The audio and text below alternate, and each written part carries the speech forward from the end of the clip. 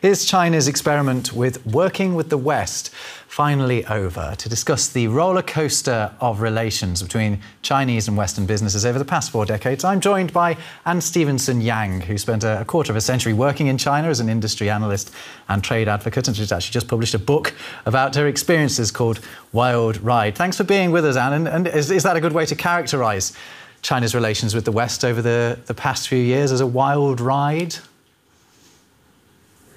I think so. It's sort of up and down, bucking like like on a bull.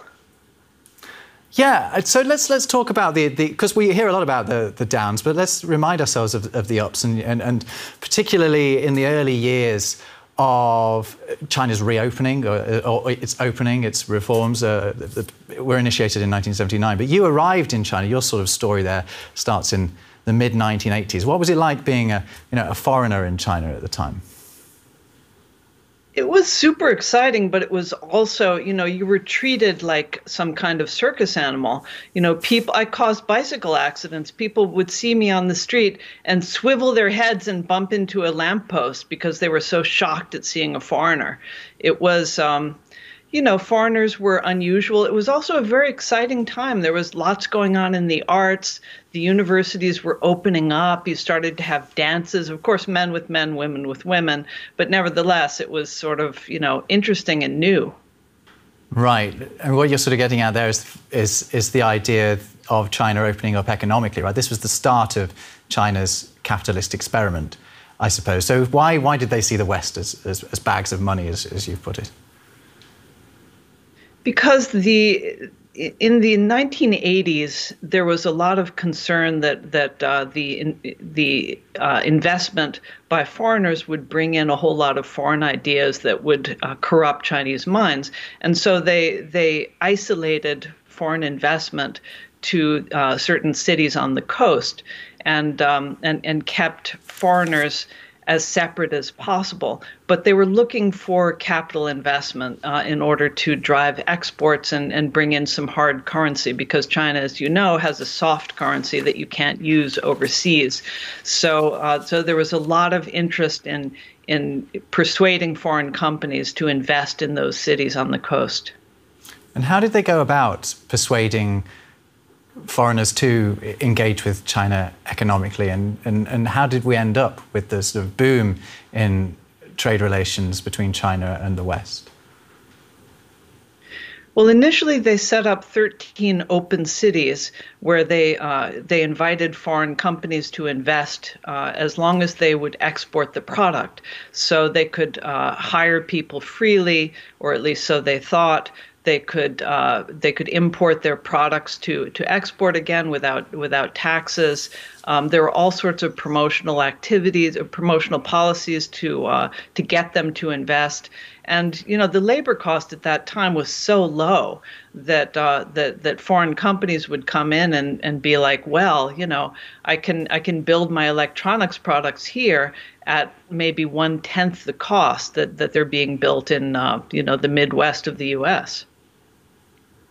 And what followed was, you know, decades of extraordinary growth in the Chinese economy.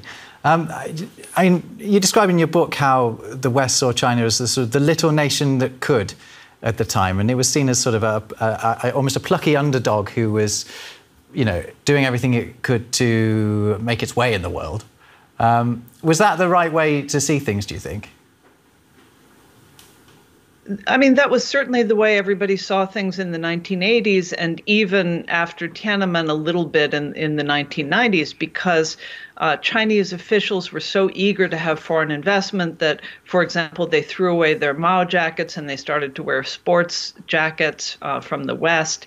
They built all these, you know, big airports and really, really fancy hotels. So Beijing and Shanghai had some of the nicest hotels in the world and um, you know foreigners would come in and they would just go to these uh, the sort of hothouse districts of the of the top cities and they would be treated really well any sort of tier three factory manager could get a meeting with a with a minister in China and be earnestly asked his opinion on you know what we should do about auto policy or something like that.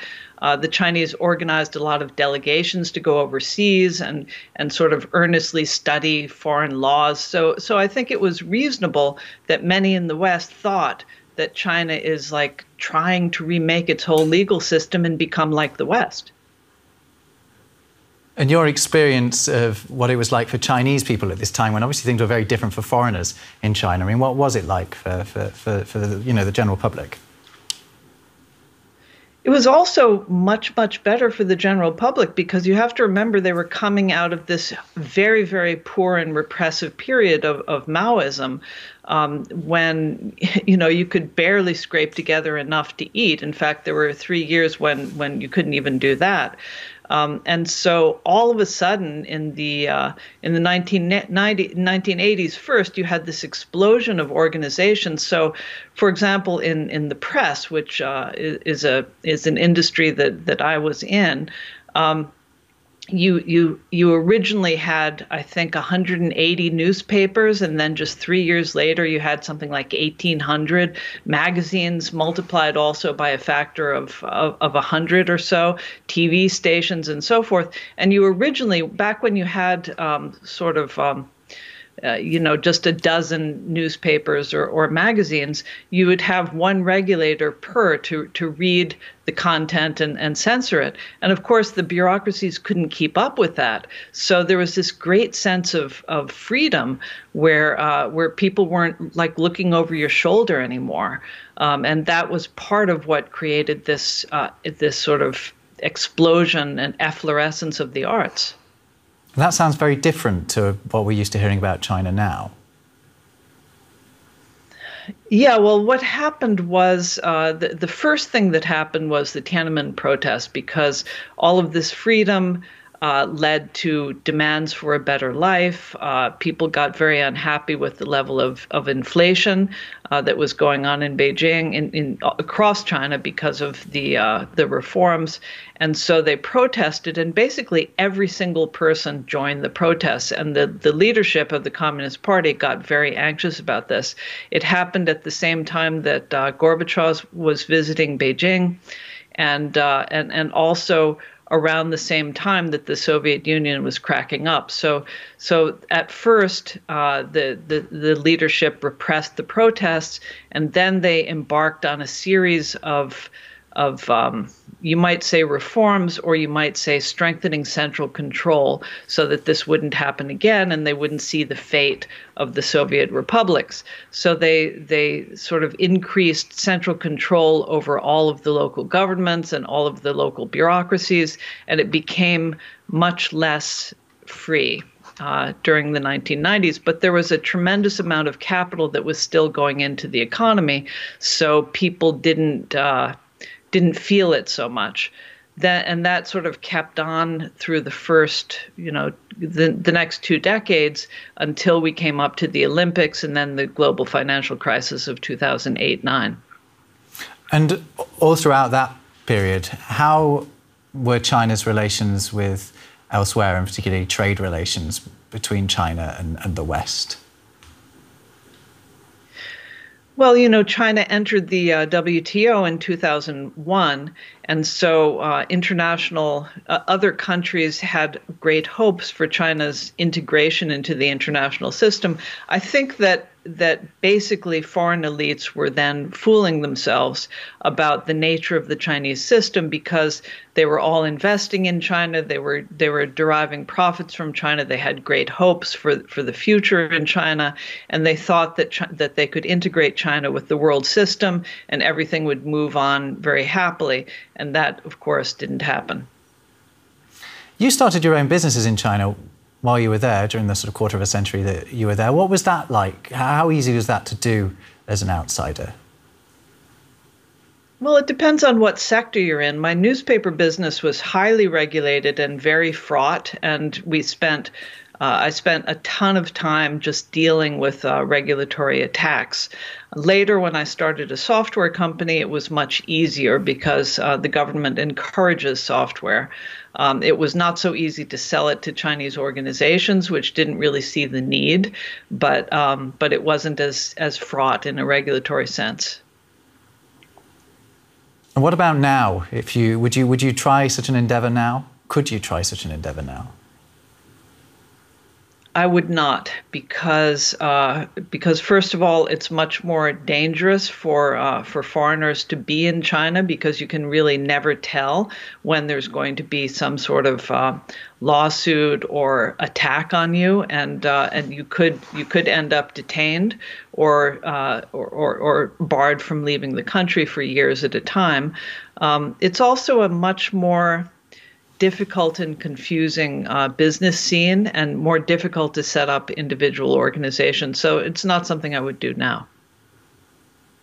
Is that one of the reasons why we are, it would appear, I mean, we have the decoupling that is to some extent driven by, by political relations between the West and China, but we're also seeing a reduction in direct foreign investment into China from the West and elsewhere.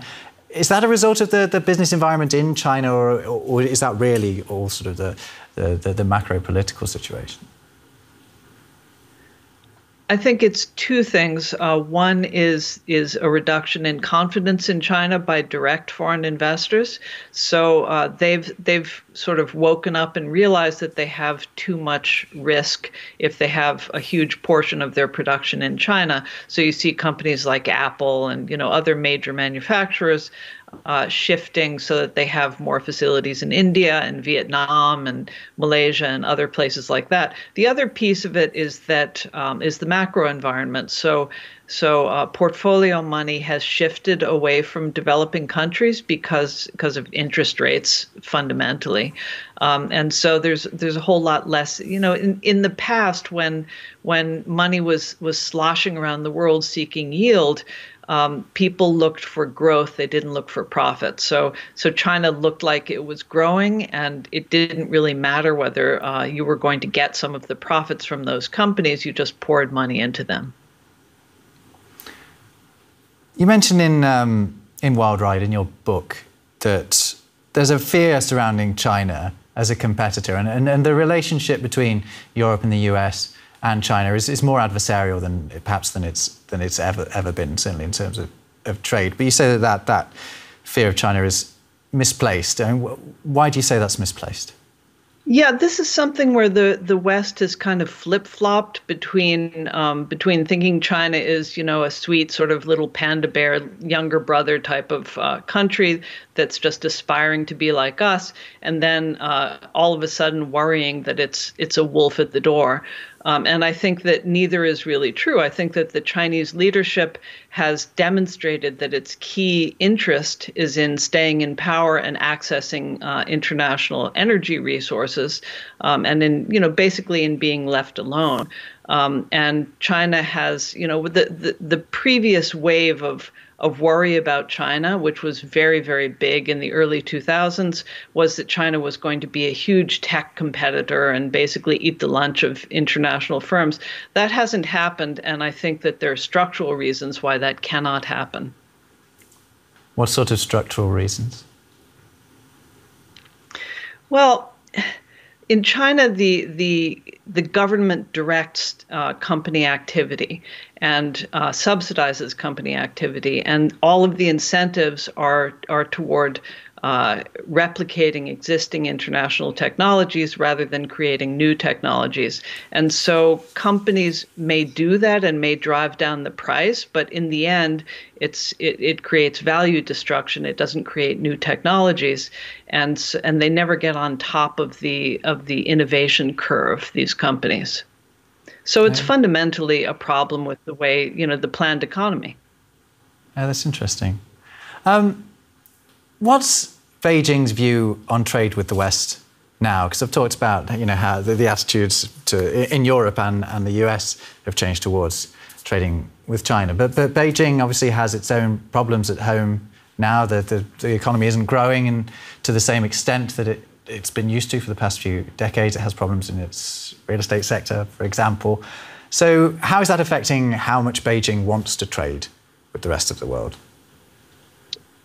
So Beijing, of course, would like to maintain uh, good trade rela- relations with the rest of the world, but it's not the, the the Deus ex machina that it was in the in the early 1980s when China just had no foreign currency and had to figure out a way to to create exports. Now they have uh, bigger fish to fry, and the biggest fish that they have to fry is domestic debt. So they they have spent 40 odd years uh, driving economic growth with capital investment that's less and less remunerative and, and productive.